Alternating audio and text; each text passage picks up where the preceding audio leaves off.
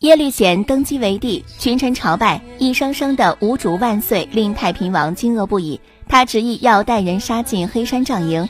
此时，耶律贤当场将太平王判为逆贼。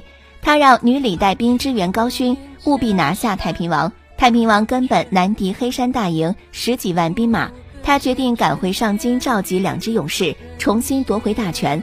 殊不知，乌质大王也得知了黑山事变，他认为耶律贤会成为好君王。因此，他让休哥控制住两支勇士军队。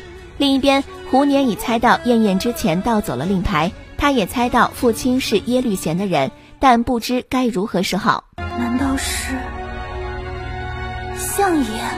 很快，太平王来调动勇士，可休哥已坐镇军帐里，他这才彻底意识到大势已去。另一边，喜隐得知耶律贤继位了，他反倒大笑出声。既然萧思温没有选择帮太平王。喜隐认为他一定会站在自己这边。与此同时，太平王快马赶回王府，却得知胡辇去了宰相府。太平王心底一沉，他立刻赶往宰相府接人，刚好听到胡辇对萧思温的质问。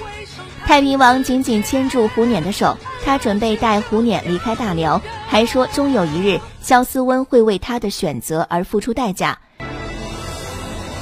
这一切，我一定会夺回来。肖思温命达里拦下太平王，韩德让也及时赶来，暗箭伤了太平王。可胡辇却以自己的性命相威胁，要求放了他。韩德让只好命达里打开城门。太平王深知胡辇的心意，临走前许诺，无论他走到哪里，都会回来找他。很快，耶律贤上京登基为帝，他大力加赏所有有功之人。萧思温虽加官进爵，却无半分开心。他如今因国，只怕顾不得家了。而胡辇回来后一直闷闷不乐，两个妹妹想多陪陪他，却被他打发走了。乌古里则百般讨好萧思温，萧思温知道女儿的意图后，顿时没了好心情。